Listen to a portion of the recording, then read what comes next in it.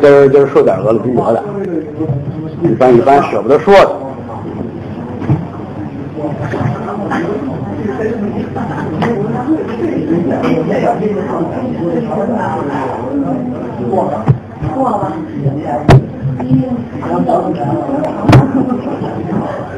我坐上面，他坐下面。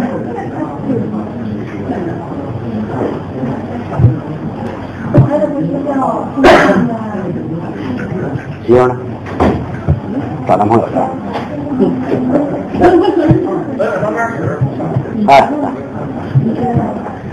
啊啊！我媳妇儿找老东西了。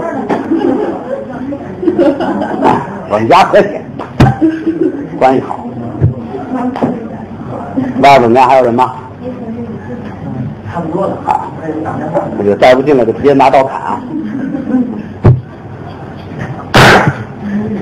富贵五更春梦，功名一片浮云，眼前骨肉已非真恩爱，翻成仇恨。莫打金家炮警，休将玉锁缠身，清心寡欲脱凡尘，快乐风光本分。呃，说这么两句定场诗啊，讲的是人生喜乐。呃，今儿个本来啊是想接着上一次在这儿说书的时候这个三零二胎，原来说的是打算两回说一个故事，上回说的是文若虚欲巧动惊鸿，还有一个是庄子修骨盆成大道。呃，今天呢本来打算说这个十五贯西岩成巧货，后来有朋友在这个网上跟我聊天啊，说这个以前呀、听我聊过这个《西游记》，说对这个《西游记》呢很感兴趣，呃，所以说今天呢稍微的更换一下口味，看大伙儿呢喜欢不喜欢。要喜欢的话呢，以后多说这方面的东西；要是不喜欢呢，还调回来说这个三言二胎的小故事。那有的朋友可能一听我讲这个呀，兴趣索然。怎么讲呢？说《西游记》这个过去老先生就说过，这部书不能当评书讲。为什么呢？故事不吸引人。为什么这么说呢？不是故事本身的问题。这《西游记》这部书作为四大名著当中唯一的一部神怪小说，老百姓已经太脍炙人口了，没有不知道的。你随便说出一章一节来，甚至有的人背原文背的比你都熟。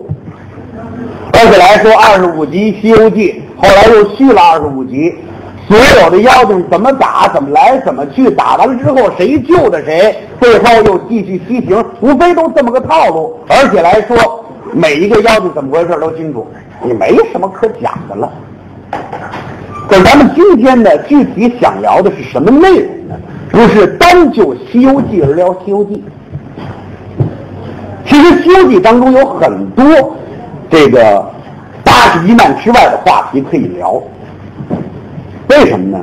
有人说这个《西游记》啊，就是一部类似于童话一般的神怪小说，什么安徒生童话、格林童话，特别的简单。每一个故事或者说每一个章节呢，说明一个道理。什么这个九九八十一难，说明了唐僧师七那个唐僧师徒四人啊，这个师徒四人一行一路之上呢，斩妖除魔啊，不畏艰辛，弘扬佛法，普度众生，就说明这么一个意思嘛。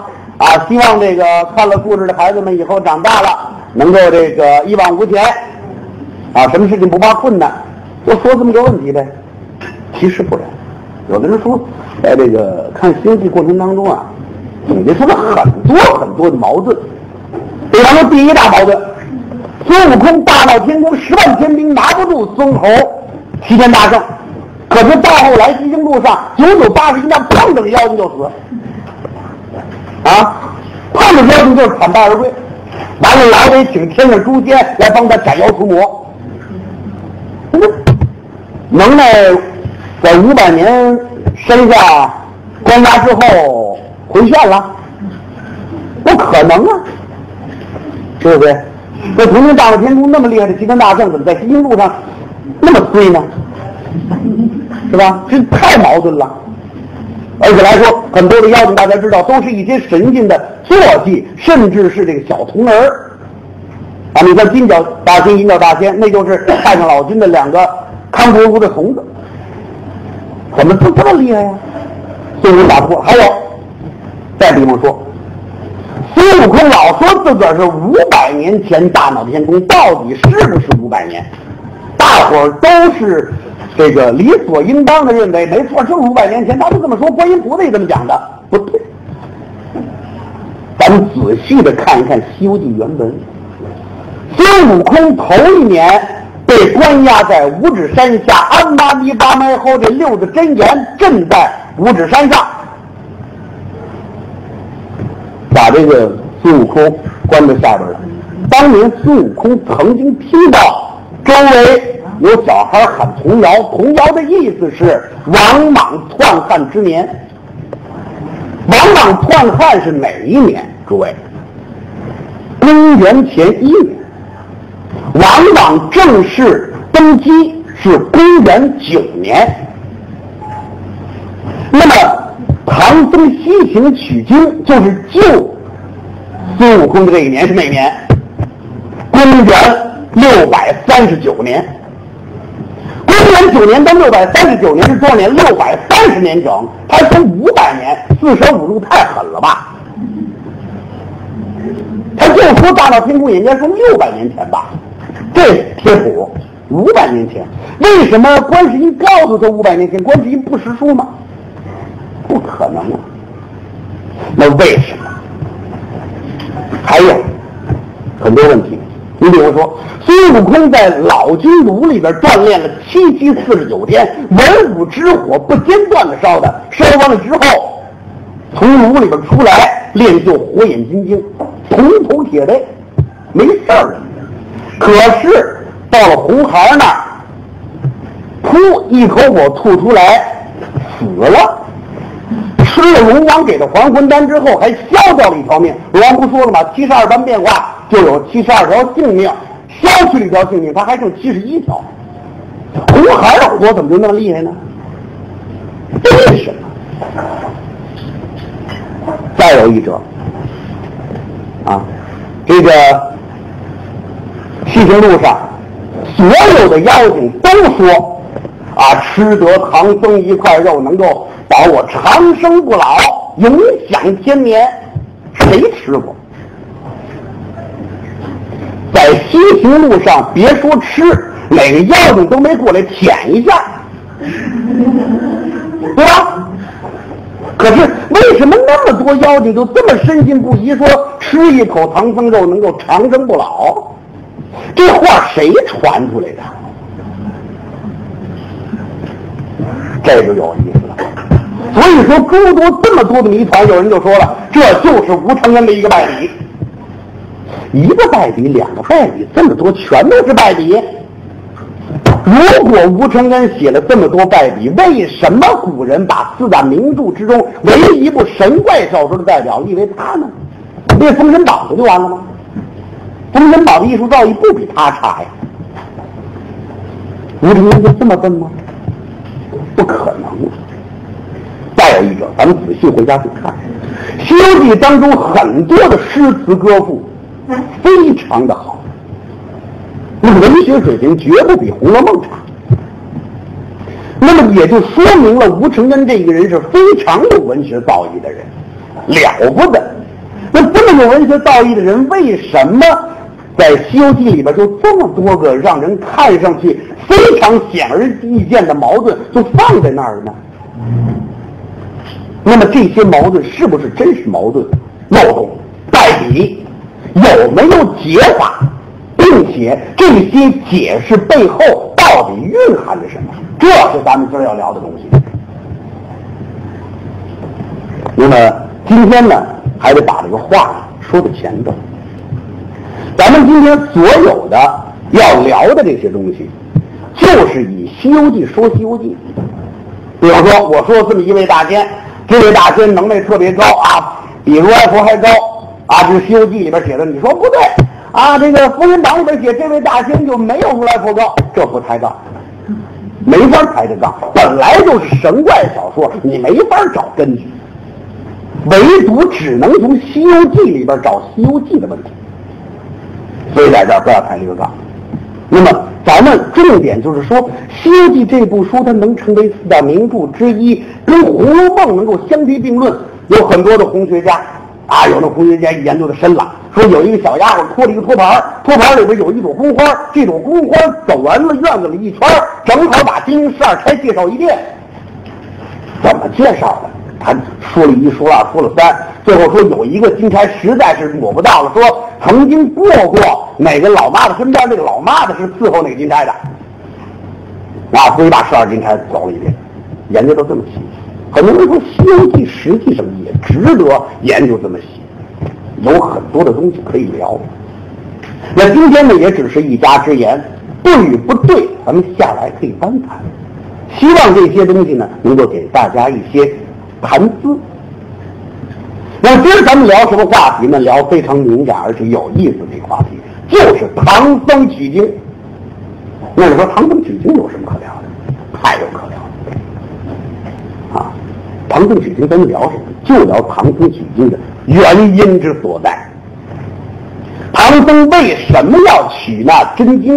有的人说了，太简单了啊！这个三岁小孩都知道，会学说话就知道《西游记》唐僧取经到底为什么？为的就是普度众生，弘扬佛法。不对，弘扬佛法，弘扬什么佛法？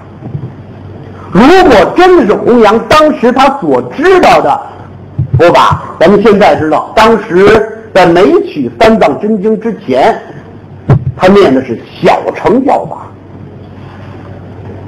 那么，在见到观世音之前，他从来没听过大乘教法、大乘佛法分藏，不知道。那么，如果他要弘扬佛法，也仅只是他所念到过的这些小乘佛法，有什么必要去西天？他压根儿不知道，这就没法说了。弘扬佛法要去西天取经，没有这么回事儿。普度众生，那么念经能够普度众生，怎么普度的？他也并没有一个真解。那有人说，那你说他不是为了普度众生，不是为了弘扬佛法，到底为的是什么？哎，咱们今儿就来聊一聊这个事情呢，必须啊，要从最初这个唐贞观啊贞观十三年这一年聊。贞观十三年这一年夏景天的时候，在唐都长安，不知道从哪个方向来了一位老者。这位老者是鹤发童颜，看年纪足有百岁上下，一身月白色的道袍，可是没有戴道冠。头发完全飘散，啊，仙风道骨，光脚没穿鞋，行走在大街之上。不知道这个老头是什么时候进的城，不知道这个老头到底在哪落的脚。可是某一天，这个老头啊，或者说暂且称他为一个道人。立起了一座挂棚，挂棚旁边立起一个幌子，幌子上上写三个大字“人鬼神”，就这么三个字。啊，他在旁边啊，支了个挂摊往那儿一坐，“人鬼神”三个字立在这儿，别的算卦的都是什么呢？这个什么大雷运卦未卜先知啊，什么王半仙、李半仙、张半仙，他这写“人鬼神”三个字，别人谁不知道干嘛的？啊，有仗着胆子过来的。说老先生，您这是干什么的啊？我这是个挂摊儿。您怎么写“人鬼神”三个字？天上地下，人间鬼道，没我不知道的。上至山川河岳，下至草木一生，你问我什么，我能告诉你。哎呀，那老人家您这太神了！你这算一卦多少钱？纹银一百两。哎呀，老先生，您穷疯了吧？啊，你说再灵也没听说过纹银一百两。哼，我能知吉凶祸福，上至五百年，下至五百载。你问我什么，我能告诉你百分之百，还不值你一百两纹银吗？有人一拨牙花走了。有些人想要了解，但是一听说是一百两纹银算一卦，都摆着手摇摇头走了。有这么一天，来了一个人，这个人是当地的地痞啊，地痞，因为头特别大，又姓严，所以人叫他严的脑袋啊。哎，严的脑袋最大的特点就是嘴歪，哎，撇着大嘴啊，踹寡妇门，刨绝坟，这么一个大聋子大哑巴啊！一看人鬼神，听说了说一百两银子算一卦，到明天，老板，你说要算卦呢？啊，我说算卦，算卦多少钱一卦？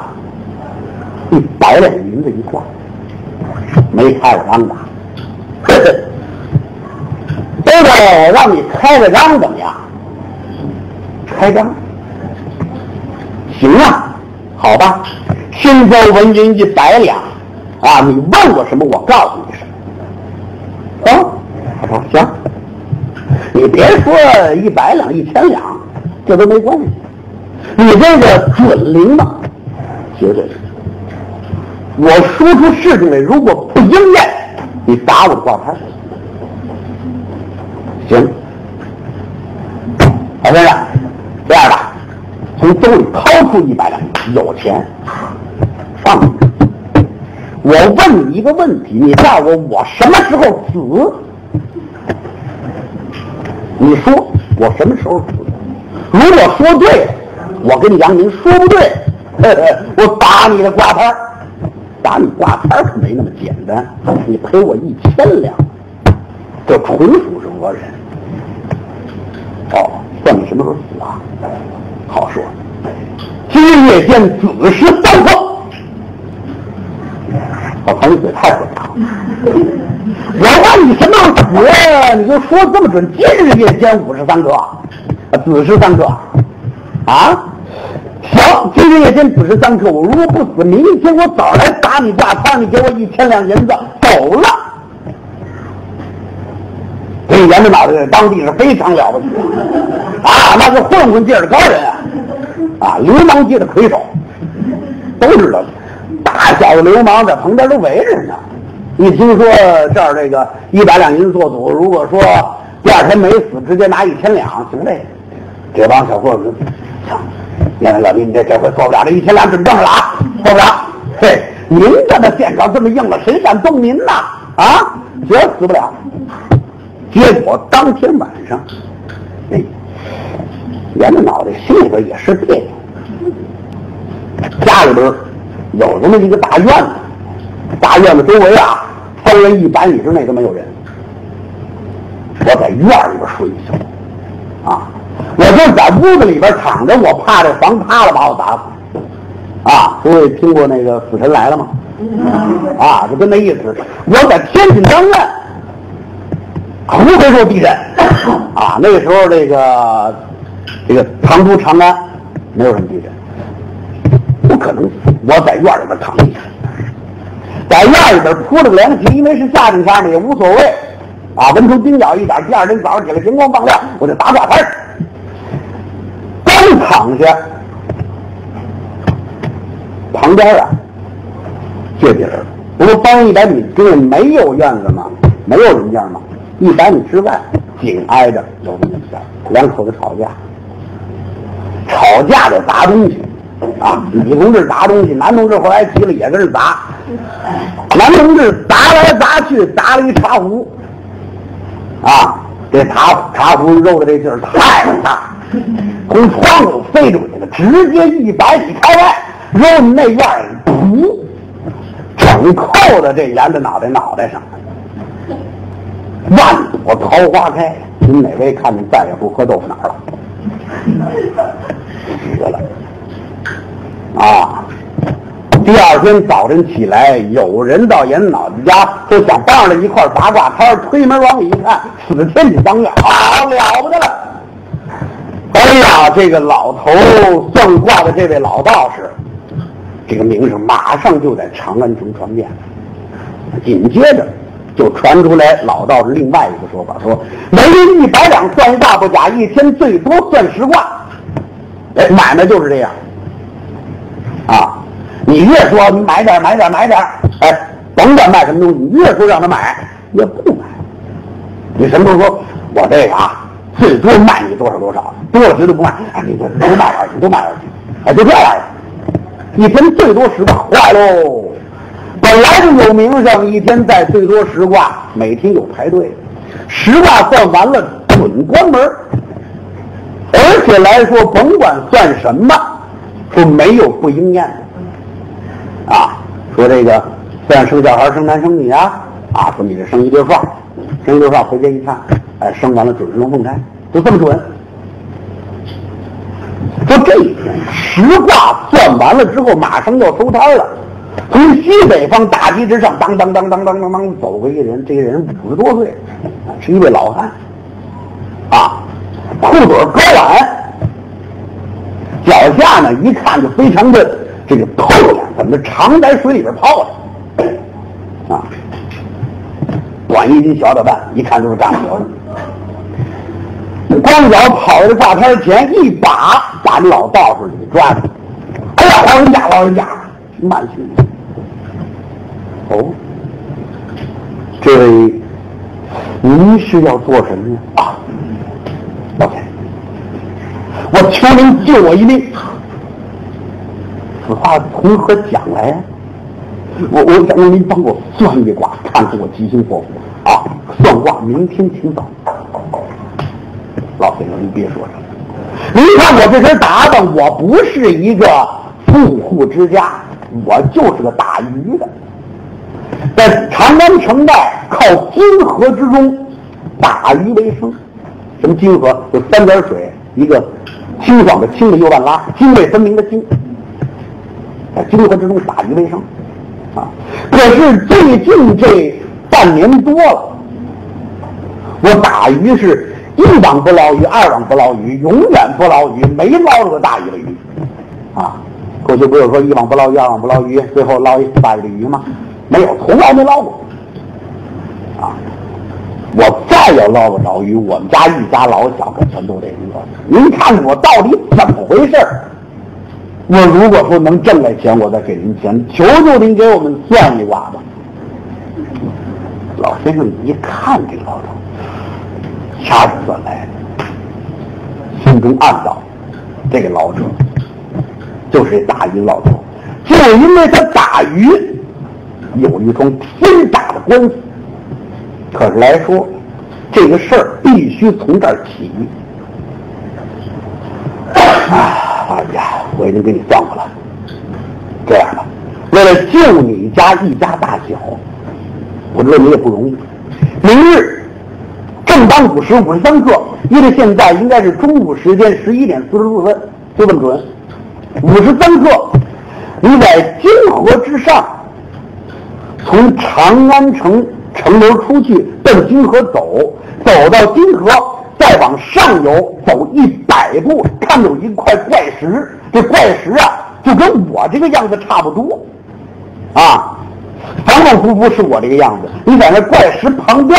拉网捕鱼，一个时辰之后未时三刻，也就是一点多钟的时候，一点四十多分的时候，两个小时时间你收网，要多少鱼有多少鱼，可是记住，只此一次，再多了可就不好了，天机不可泄露，多说无益。去吧，一甩手，老头关门撤幌子走了。这打鱼的老汉，哎呀，这么准吗？我试试吧。都说这位老先生是神仙，那我听他一把，一百两银子一挂，我这算抄上。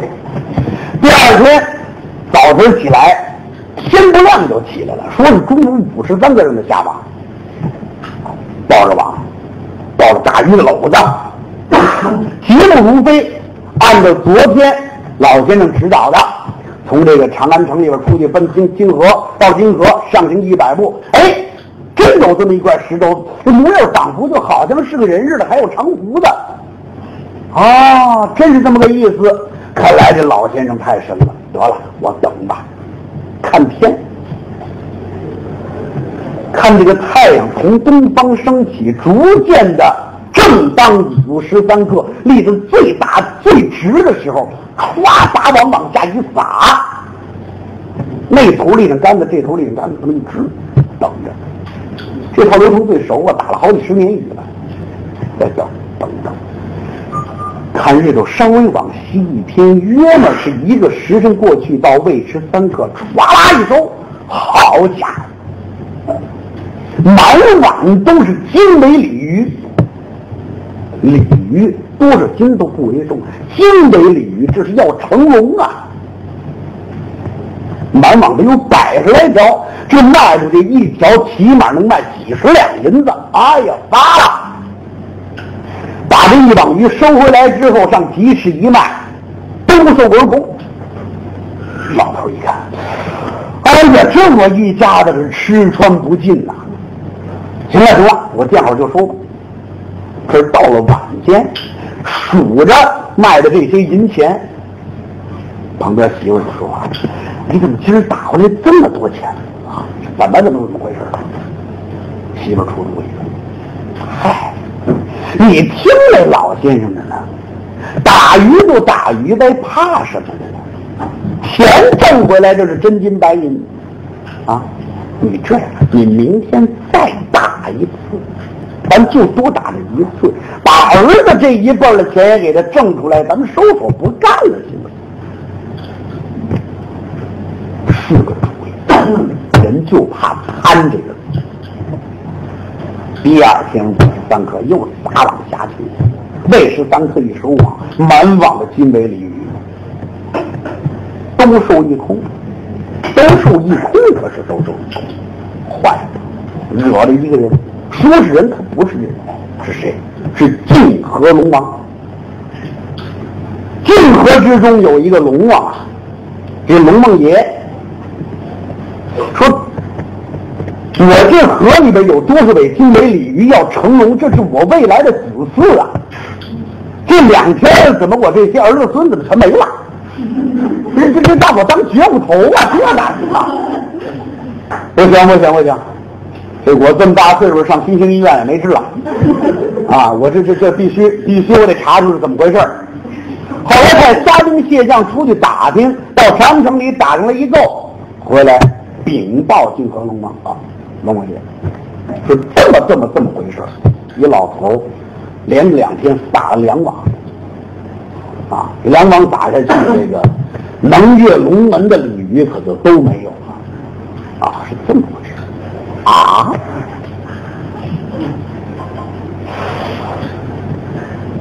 这么说，这个老头这是有高人指点，这高人是谁呢？老龙王当时可没明白这高人到底是谁，书之干表，那位算卦老先生是谁？是鬼谷子仙师啊，就是为了这段机缘巧合到长安城里边摆卦摊啊。他不知道鬼谷子，他说不行，这欺负人不能欺负到这种程度啊！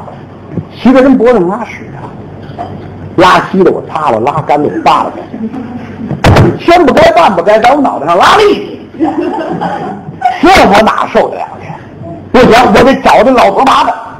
第二天早上起来，泾河龙王摇身一变，变做了一个年轻的书生，啊，非常的这个英俊潇洒，拿着个折扇，啊，你想不明白就看我，就这么个意思啊。从晋河出来，奔长安城里，一打听就知道，这老先生挂摊都传神了，了不得！在哪儿哪哪儿哪，你去看吧。一路之上不挂，到了挂棚那儿，呵，人山人海。旁边虽然说不是谁都排得上号，啊，每天只算十卦，但是老老百姓就爱瞅这个热闹。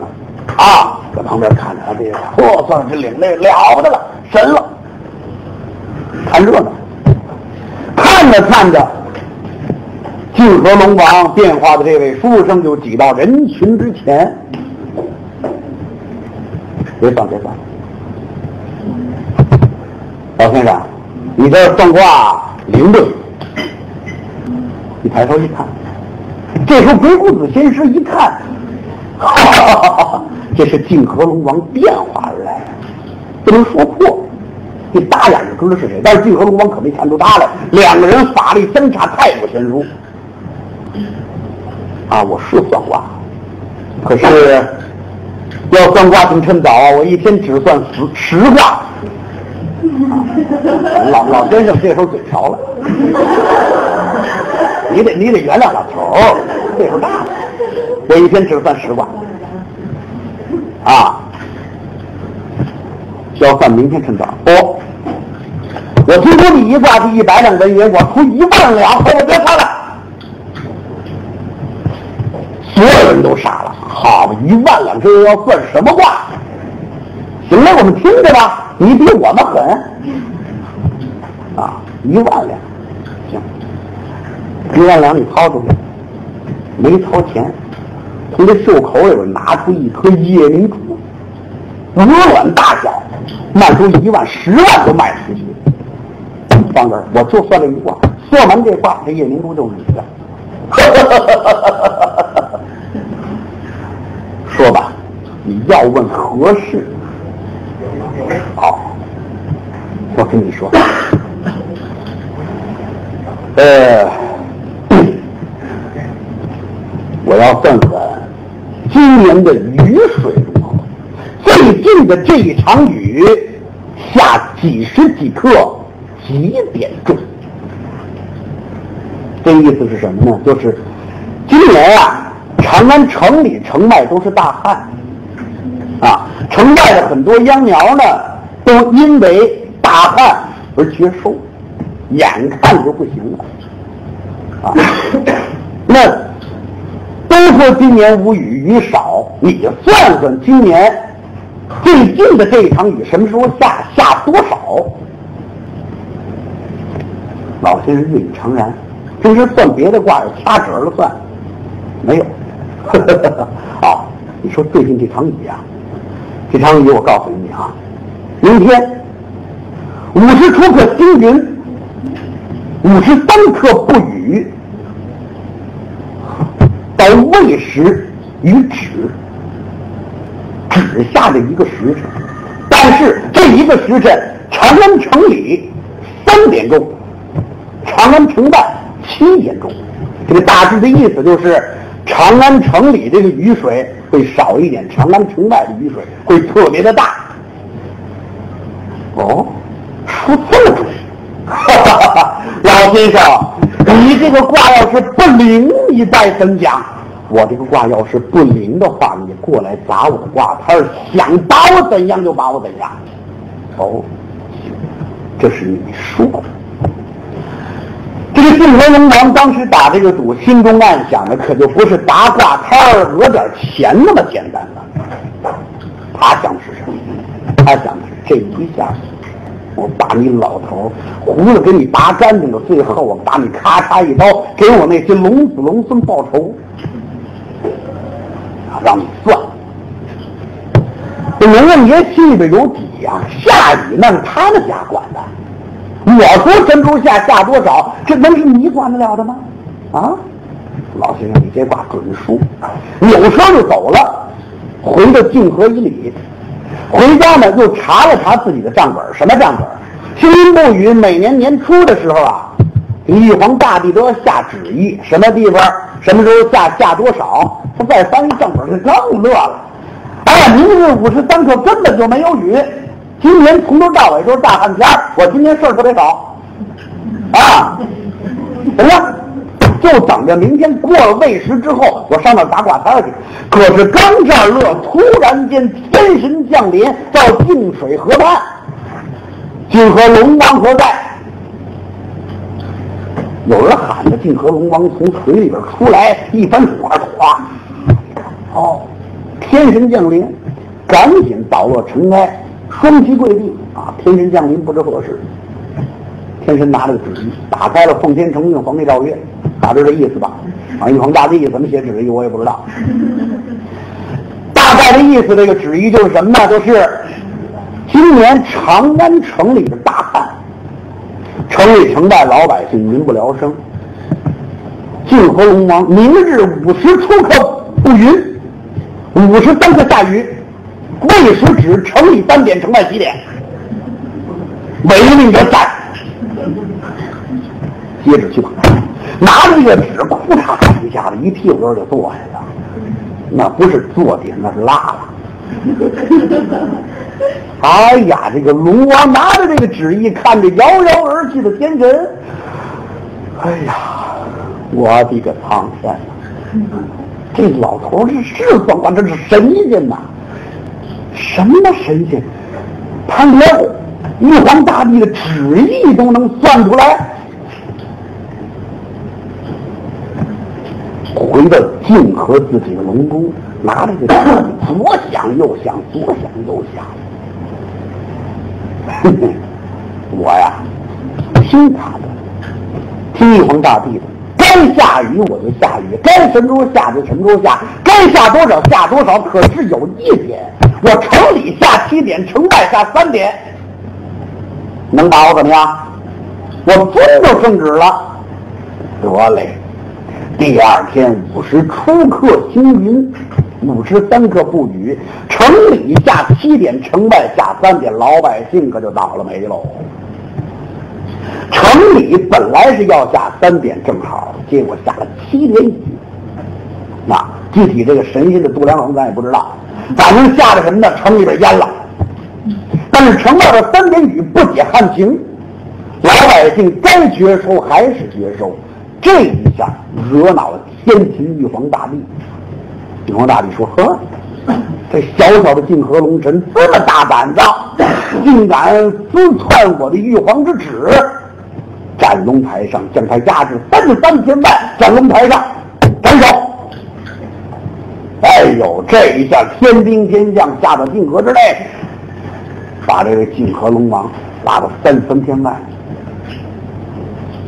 三十三天在斩龙台上，就三日之后，就在斩龙台上把这个龙啊腰斩一斩两半。那么让谁来斩呢？诸位，斩的这个人可了不起了，叫魏征，是当时，哎，很多人觉得很奇怪，魏征这个人在历史上是非常奇怪的一个人。啊，就跟明朝刘伯温一样，这个人不仅仅是军事，不仅仅有才学，而且来说能掐会算，有半仙之体。这个人在仙班之上还标明挂号，是个刽子手，专门宰龙。啊，这是他的仙班的职位。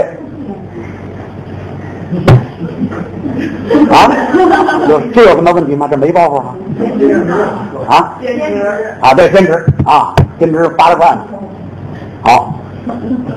三日之后五十三刻，让魏征到斩龙台上斩首这龙，腰斩。结果就在当日晚上，有一个人接着泾河龙王托了个梦，谁呢？李世民。李世民托了，被谁托了梦？被李泾河龙神托了个梦，什么梦？说这个，哎呀，你是人王地主啊，你了不起。啊！你管着魏征，明日午时三刻，魏征就把我腰斩了。我是泾河的龙神，我星云不语，福保了一方的安泰。可是这一次，我为了跟那位老仙师，我也不知道是谁，跟他打赌，结果，结果坏了，我受此大难。这样啊。如果说明天五十三刻之前，你能让魏征留在你身边，不上斩龙台之上杀我，以后我还有回泾河那一天。打那天以后，我就福保着你，唐朝江山永固。你说什么时候下雨，什么时候下雨，你说下多少，我全听。啊，保你五谷丰登，好吧？皇上李世民一听，那魏征这是我的手下，是怕什么的呢？行嘞，好，泾河龙神，你放心吧，你且回去啊。魏征，这是我的宰相啊，在我手下成真，没关系，我明日留他在我的身边也就是了。你回去放心吧，答应他了。结果第二天打早晨儿，搁到现在的话，九点多钟的时候，上午九点多钟就把魏征招到近前。魏征在头天晚上也收玉皇大帝托梦，说明天五十三个，你要到斩龙台上斩首此龙啊，要杀这个龙做刽子手啊，做你的兼职啊，五十三个你必须得去。好，像知道知道。就第二天早晨九点多钟的时候，被这个皇上李世民呐叫到身边，说这个爱卿啊，我今天呀。不知哪来的兴致，我特别想下棋，咱们俩下一盘。皇上，您平时没这爱好啊，你今儿干嘛？你甭管，我今儿下棋啊，下什么棋都可以，只要跟你下棋，行吗？下棋。这个有的人说呀，当时魏征跟唐王李世民下棋下的是什么棋？有的人说下的是象棋，但是更多的人下的应该是围棋。这个当然不可能是跳棋啊，啊，这这不可能，没有这，那时候没有这啊，啊，军棋思量，围棋为什么叫围棋呢？注意，围棋呢是要把自己的子连成片，然后呢对方把这个子破除掉，这叫什么叫斩龙棋？这是围棋的一个雅号，所以有人说这个时候暗指魏征要去杀龙。所以君臣之间下的必然是斩龙棋，也就是围棋。两人有打，早晨九点多钟一直下到十一点。注意，五十三个是十一点四十四分往后，十一点了。这时候魏征可着急了，这这虽然说我是兼职，但是我不能到点不去。想来想去，他跟皇上说。啊，陛下，呃，下这么盘棋啊，说实话，昨天晚上我批改公文呐，一宿未眠。呃，能不能您放我回去休息一下，到下午我再来跟您下这盘棋，接着下。哦，你累了，累了这儿吃吧，这儿睡也行，你随便。啊，皇上说：“这这不行，我我得回家吃。你还嫌我这儿吃的不好怎么着？啊，想吃什么吃什么啊，灌肠、包子随便。啊，我也不知道你得意哪口。反正三说五说，皇上就不放走。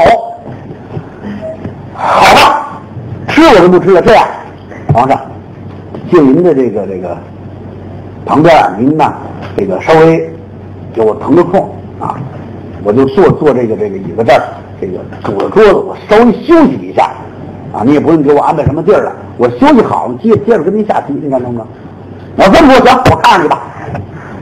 皇上手拄着腮帮子，看着魏征，他是托着腮帮子，大眼瞪小眼，这人这变，没怎么就睡过觉，让一个男人看着，啊，哎，我又不好逛东单公园，嗨，可是。他心里边有事儿，真的拖着腮帮子，眼眯眯瞪瞪，可就睡着了。睡着之后，魂上九霄三十三殿外，到了斩龙台上，灵魂拿着一把砍刀，咵一下，把这个龙王给腰斩。哎呦，斩完之后，灵魂回来，接着跟唐王下这盘棋。李世民。虽然说是人王地主一朝的天子，但是他是肉眼凡胎，不知道那种隐情。继续下一盘棋，过了五十三个，到了下午一点来钟，行了，这时间没问题，那龙王爷你肯定活了。这人在我身边从来就没动过，行了。可是到了银夜晚间，龙王又是一个托梦，啊，梦这是一个很好的传递信息的工具，啊，比短信还好使，哎。龙王爷呀，披头散发，浑身都是血，非常的惨。从大殿之外踉踉跄跄就走进来。这时候，唐王就觉得自己躺在床上想动动不了。龙王爷走到唐王近前：“唐王啊，唐王，你身为人王地主，答应我的事情，你怎么反悔了？这时候，从梦中，李世民坐起，啊，我没反悔呀、今天我一直在跟我的爱卿魏征下棋，他从来没离开我寸步。哎呀，你糊涂啊！他中间是不是睡着了？睡着之后，灵魂之上，九霄三分天外，斩龙台上把我斩走，把我腰斩，怎么你不明白？哎呀，I'm sorry，我说错话了，实在是抱歉，我真不知道他灵魂还能上千万，我这丞相我看来是大材小用了，我真没了解。你答应我的事儿你没办到，这样吧，要死咱们俩一块儿死。龙王一看自个儿这龙爪，奔着李世民就去了。李世民想逃也逃不了，想躲也躲不了，这哽嗓咽喉越来越紧，越来越紧。突然，一口血吐出来，气绝而亡。您记住，唐贞观十三年，李世民死过一回。死了之后，龙王魂归地府，李世民晃晃悠悠的自个儿灵魂从自个儿的床榻之上起来，回身看看，那个人跟我长得一样，是谁呢？自个儿都不认识自个儿了。灵魂飘飘荡荡，仿佛是有佛爷仙音引着自己来到了地府之中。他不知道到底是哪儿，就觉得两边啊阴风怒号之声，鬼哭狼嚎。走着走着，看前面一块牌坊，牌坊之上写三个大字“丰都城”。丰都鬼城，到了城外，还没往里走呢，从里边噔噔噔噔噔噔噔噔跑出一个人来。这个人青面獠牙，啊，一身红色官袍，左手拿着账本，右手拿着杆，中拿红笔。这个人谁都知道，判官。判官在这个古代呢，都说判官姓什么？姓崔。这个人叫崔珏。据说这个人跟魏征还是有关系，关系不错，交情莫逆。崔珏两个王字那个珏啊，左边这个王字，右边是一个王一点儿，实际上都当这两王字都当御驾，也可以都说是御，叫崔珏。崔判官，崔判官左手持着这个账本儿，右手也就是生死簿，右手拿朱砂判官笔，当噔噔噔噔跑到近前，咕噔一下就就给李世民跪下了。哎呀！人王地主到此，有失远迎，您且恕罪。哎呀，这谁呀？我不认识你。啊，我是阴间的判官。哎呀，官不小。你忙啊？您这是到了丰都鬼城，来到了阴间了。啊，莫非叔叔真的死了？不可能。判官这儿说不可能，您没死，肯定没死。我跟您说，我今儿个啊。我听人跟我讲说，唐王李世民的灵魂要来到丰都城，我觉得很奇怪。于是，我紧跑慢跑来到这儿，看着您过来，我觉得这其中定有隐情，肯定不对。啊，咱们一会儿呢，您跟着我啊，这就当地府一日游，好吧？呃，咱们看看生死簿上到底是怎么写的啊？这个到后边查完了生死簿，给您一个明明白白的答案，您再回阳间。继续您的人王地主，好了，往里走，刚到丰都城门里头，呼呼啦啦来了一批人，谁呀？十殿阎罗。有人说地府阎王爷是一个，其实不是，至少在《西游记》这部书里边，不单单是一个，十殿阎罗，什么平等王啊、宋江王啊，很多啊。十殿阎罗都来了，十殿阎罗到了近前，没有向崔判官跪下，但是人人拱手作揖啊！人王地主到此，小神迎接来迟，非常的客气。好，你说怎么怎么回事？哦，王地主这其中定有隐情。行了，崔判官带路，一块儿来到了阎罗宝殿，在阎罗宝殿赶紧开小鬼儿，去拿生死簿。看一看所有人王地主的生死时辰如何。有一个小鬼儿，一篇一篇的翻翻到这儿，唐贞观啊，贞观年间，唐王李世民死期贞观一十三年。刚说完这句，崔胖子过来，啪就给一嘴巴子，念错了，再念一遍。啊！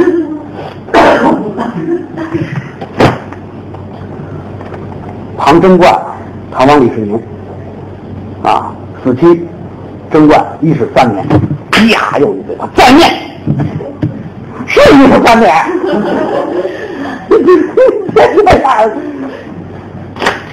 拿过来。右手指着朱砂红笔呢吗？崔判官，上下各添一横，在一字上下各添一横，再念啊，苍生观三十三年，哎，这念对了。注意，这里边很多的隐情，到底为什么崔判官这么做？一会儿后边红灯过点。哎，您还有二十年阳寿呢，我说错了，嘿嘿嘿，又错。二十阳寿，您回去。正说着，就听阎罗宝殿外头啊，我人喊的声音：“李世民，李世民，我命来！”这个声音一入李世民的耳朵，李世民是抖如筛糠。谁呀？这个声音他听得特别真切。谁？他哥哥李建成。啊！紧接着又一听，兄长还我命来！他弟弟李元吉，儿子还我命！他爸李渊，哎呦，把这个李世民吓这到阴间都找我来了。大家都知道玄武门之变，这个玄武门城下本来是李建成、李元吉想要把这个钦宗的李世民。斩于这个玄武门之下，结果呢，被李世民伏兵设埋伏，把这个建成一箭射到龙岗，整个穿过去，李建成这么死的。后来呢，元吉跑的过程当中遇着尉迟敬德，尉迟敬德也是一箭把这个李元吉脑袋连盔带脑袋一块射穿，脑袋上这儿顶个箭。后来呢，李渊。是被李世民被逼退位，后来死了，等于是斩兄屠弟，把自个儿的父亲逼死。啊，这亲爷仨都找他来了，还我命来！哎呦，这帮人在殿外头喊，言语滔滔。李世民往外一看，好嘛，我也太惨了啊！一个这儿扎着剑，一个这儿扎着剑，老头抖如筛糠。青面獠牙的，好嘛，杨坚不这样，可不敢出去。旁边崔胖赶紧过来，哎 不怕不怕，这个在杨坚就是您的兄弟，就是您的父亲，到这儿来都归我们管啊！一会儿我把他们全扒拉走，别害怕啊！这注意，这是一军李世民出来之后。这个李世民说：“我从来没到这个阴曹地府来过。都说你阴曹地府有十八层地狱，我能否观瞻一下？行，来看吧。”哎呦，带着唐王李世民，这一层一层的地狱就看：斩蛇地狱，什么腰斩地狱，什么这个油锅，什么上刀山下火海。尤其是油锅，大伙儿可能有听过是吧？啊，一个一个炸的，俩炸的，用三个来三道炸的是吧？宝典常看，反正非常有意思啊，各种情况。嚯，人还能这么死呢？太了不起了！啊，你们这发明创造，哎，十八层地狱都看了，到第十八层要出来的时候，又听后边，李世民还我命来！这声听不清楚了，可是人特别多，一听啊。得成千上万的人喊李世民还我命来！李世民说：“这这是怎么回事？”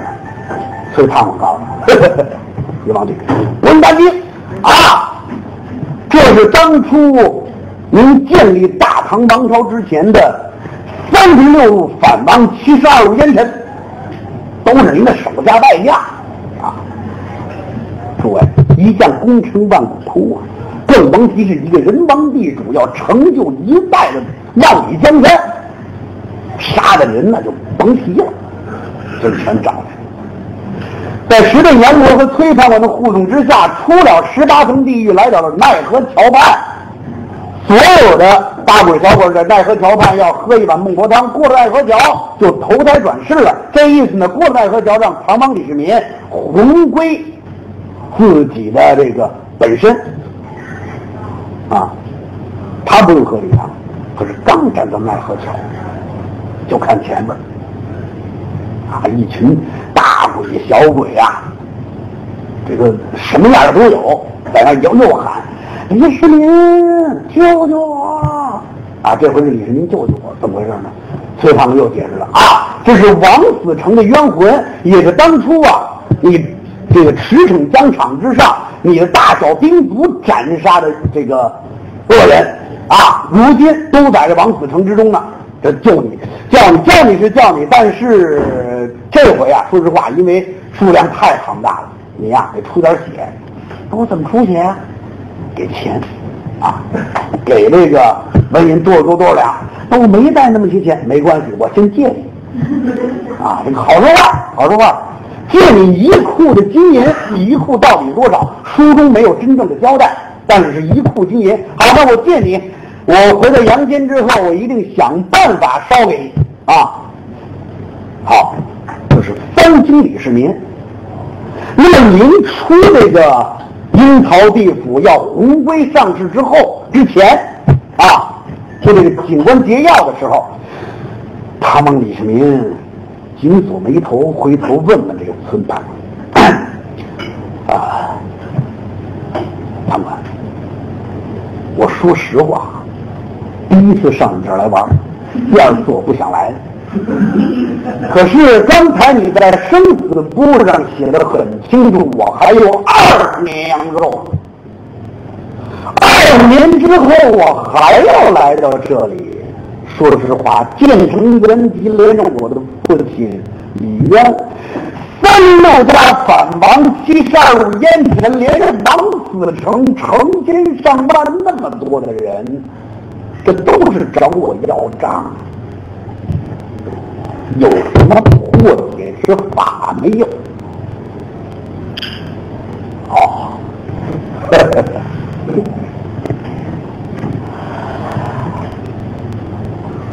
您问这个事儿啊，还真有破解之法。说来我听，要说也简单。你只需要到阳间呐，找一个品行好、根源深、道行高的高僧，做一场水陆大会的法事，要多大有多大，能多大就办多大。念经超度七七四十九天，超度地府里所有这些亡魂。什么时候地府亡魂空了，地府没有喊屈之声，这叫什么呢？这叫要解百冤之结，要度无妄之灾。这个时候，您再回阴曹地府，所有这些枉死的人，你再也见不到。而且这场法是能保你江山永固。哦，好，告辞了。灵魂转世，回到自己的本身。腾一下从床上坐起来，浑身的大汗，啊，阴曹地府走一圈啊，好，再也不想去。回会会儿又想一想，临出来之前，崔胖子跟自己讲的话，要进一场水陆法事。行嘞，各位，这就回到最初咱开始讲的那个话题，为什么要取经？招天下的名僧贵佛要建这场水陆法事，那谁办这事儿呢？魏征来办，这是元起子魏征，还要由魏征来办。魏征连同三个老臣一起组成了海选协会。哎，就是海选，海选最后把天下的众僧选到最后剩一千二百位高僧，一千二百位高僧选来选去，选出一个得道的高僧，这是谁？玄奘法师。说玄奘法师是根源深，根源好，品行高。怎么讲呢？根源好，陈玄奘啊，俗俗名是姓陈的，他的父亲是陈光蕊，当时那是什么呢？那是一朝的状元。同时，他的母亲，他的母亲是阿娇。哎，这个可乐吧，还真是明查原文，他的母亲叫什么？姓殷，叫殷文娇。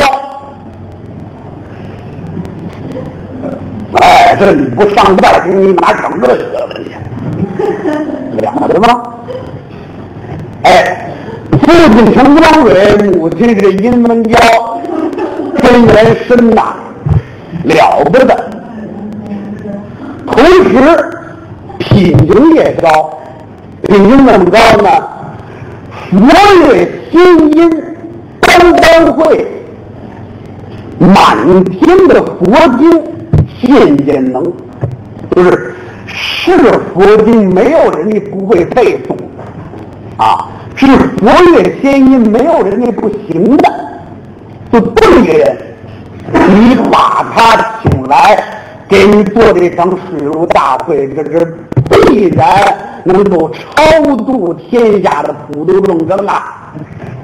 行了，做了，这场法会就做起来了，水陆大会。第一天念经，第二天念经，第三天念经，念到第七天，本来注意。这个经一定一共要念是七七四九天，念到头七。这一天长安城又来了一个人，这个人身旁有一个小童子，小童子手捧着一一桶渣渣，这个人手拿着一个鸡蛋，啊，说是鸡蛋，实际上就是什么呢？就是当时啊，这个和尚走走远路，怕累，当拐棍用。然后呢，有的时候这个这个西藏上不有环儿吗？这个环是为了惊飞鸟啊，惊昆虫啊，怕这个这个这个啊，有什么？嗨，什么都挨着。谁妈还走到哪儿呀？说这个大伙都不明白，当然了啊，好，就是这个西藏。那么捧着袈裟的这位书中暗表，可能大家也就知道了，是惠安行者金家转世。那么这位拿着西藏的，幻化成一位老和尚的。是观世音菩萨在大街之上一边行走着一边高喊：“啊！我有锦兰袈裟，我有九环西大。锦兰家大九环西大，有言之人不能不许，无言之人。锦兰家大五千两纹银，九环西大两千两纹银。啊，一边喊着一边说着，旁边有人问价儿干多少钱啊？五千两，二千两。哎呀！这怎么一破拐你卖二千两？卖拐的，其实就是古人用啊。好，那南边都直打折，走来走去就走在这条这场水陆法会之外啊。这一声啊，听着好像没有多大的声音。啊！继续喊，这个我有金兰袈裟，卖五千两；求婚记账两千两。这一声传的特别的远，远到什么程度？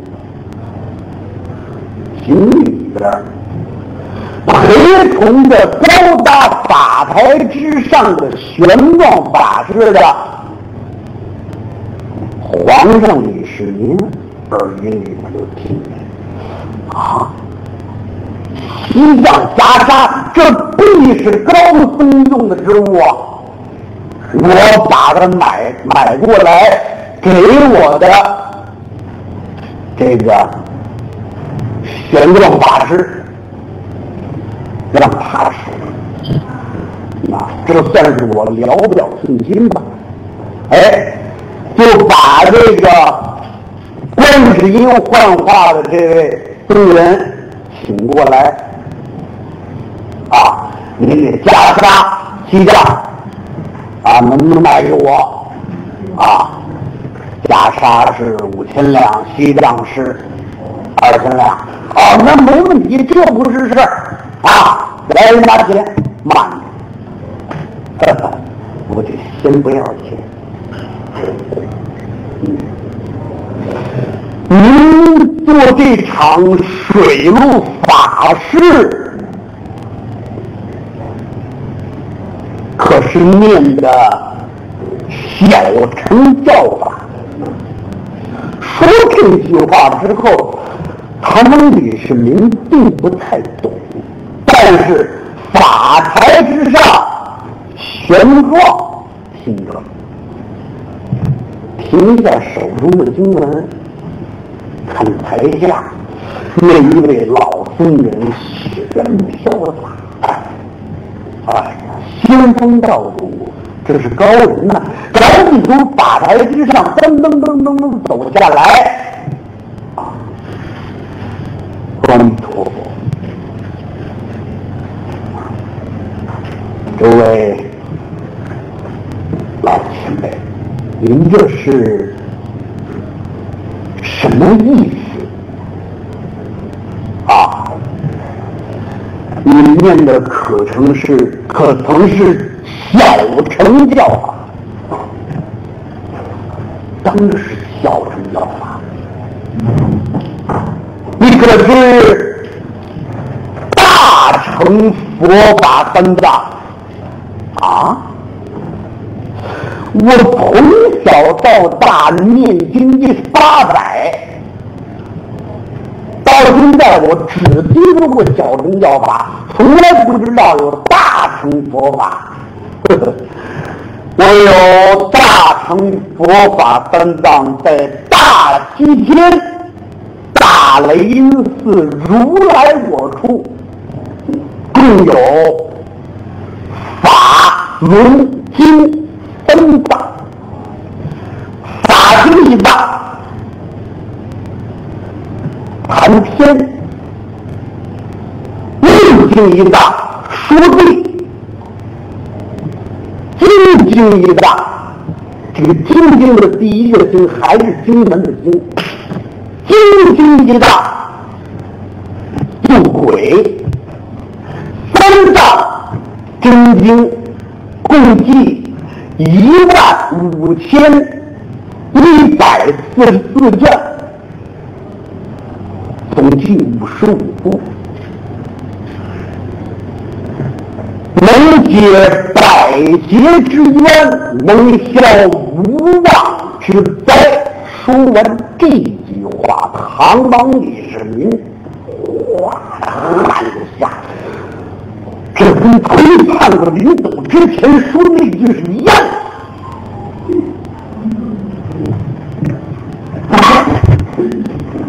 这这位这位老军师，您刚才说大乘佛法分藏在七天大阴处可以消百劫之冤，能消无妄之灾。这不是，哎呀，那我的小乘佛法分藏如何？小乘佛法分藏想消无妄之灾，是比登天。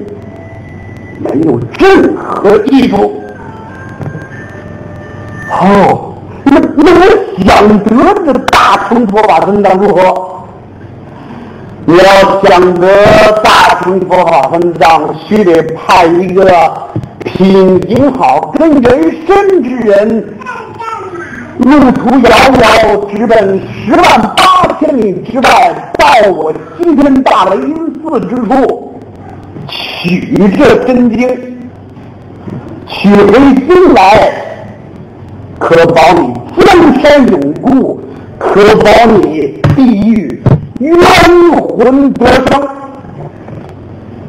所有的这些话，全都在唐王李世民心这儿。哎呀，合着我干这七天是白干的。这个这个这个这个这个这个这个，后还有六期呢，啊，七七四十九天就是头期完了，六七四十二天我，对吗？哎呀，满天众说，谁能替我到西天去取这如来真经？旁边就是陈兴旺。马上，阿弥陀佛，小僧不才，愿往西天大雷音寺之处，替我王求取这真经，消无妄之灾，解百劫之冤。注意，这儿就解扣了。为什么唐三藏去西天取经是普度众生呢？不是，是弘扬佛法吗？并不是，是帮助唐王李世民消取地府的冤孽，消妄之灾，解百劫之冤。也就是说，实际上这件事儿是唐王李世民的需求，唐三藏没有这个要求。是唐王李世民派这个唐三藏去西天求取真经，这就是整个的唐僧取经的真正原因。那么从这儿大家可以稍微的做一个思考，什么呢？为什么地府之中推判过那么巴结唐王李世民？一三年改成三十三年，还有三经李世民到底是为什么？实际上说深点，这都是菩萨设的口。为什么唐僧要取真经？说来，这是观世音设的口。那么观世音为什么设这个口？是如来佛。让观世音这么做的，那么如来佛到底为什么要这么做？真正的目的是不是弘扬佛法呢？是不是普度众生呢？如果不是这个目的，那么如来佛到底要干什么？他的目的在整个前后一百回当中，《西游记》里边体现没体现？所有的这一切，且听下回大闹天宫的幕后黑手到底是谁？